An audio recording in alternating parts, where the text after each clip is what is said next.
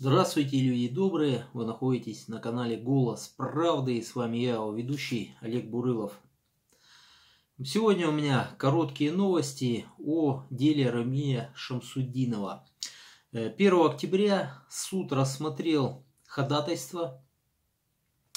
В частности, была приобщена э, рецензия саратовских специалистов о том, что следует провести новую психолого-психиатрическую экспертизу я вам напомню, что недавно была проведена психолого-психиатрическая экспертиза, которая э, в институте имени Сербского в Москве, которая заявила о том, что Рамиль Шамсудинов э, вменяем.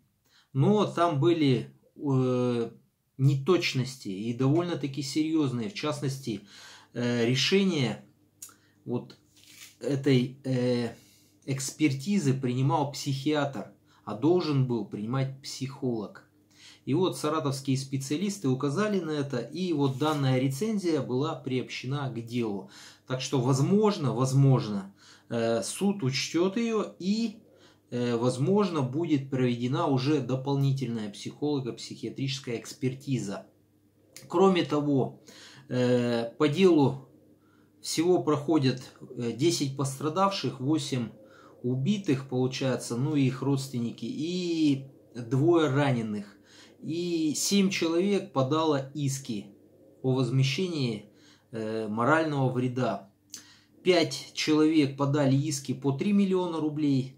Э, жена старшего лейтенанта Пьянкова, который, по словам Рамиля, больше всего издевался над ним и обещал его изнасиловать, подала иск на 5 миллионов рублей, и жена капитана Евсеева подала иск на 16 миллионов 730 тысяч рублей. Почему она так оценила жизнь своего э, мужа, я не понимаю. Видимо, ну, жизнь офицера почему-то в России стоит дороже жизни солдата, я так лично понимаю.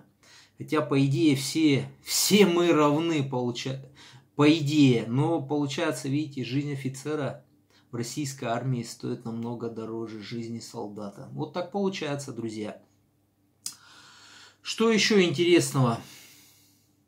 Э, отец Рамиля Салимжан Шамсуддинов написал, что его сын Рамиль содержится в СИЗО номер один города Чита.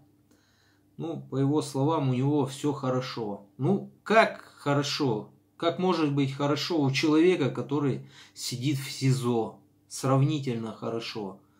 То есть не зря же э, власти, даже власть приравняла один день отсидки в СИЗО к полутора дням отсидки в колонии общего режима. Друзья, вот так. То есть там, по идее, условия, конечно, ужасающие в СИЗО.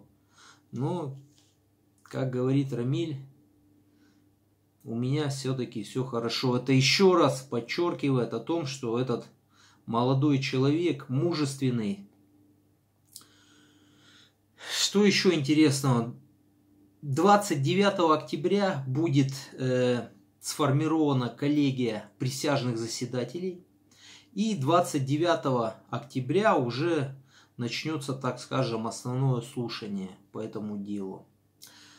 Друзья, я буду держать вас в курсе событий. До свидания. С вами был Олег Бурылов, ваш голос правды. Спасибо всем, кто поддерживает Рамиля Шамсудинова и его отца Салимжана Шамсудинова. Спасибо большое. До свидания.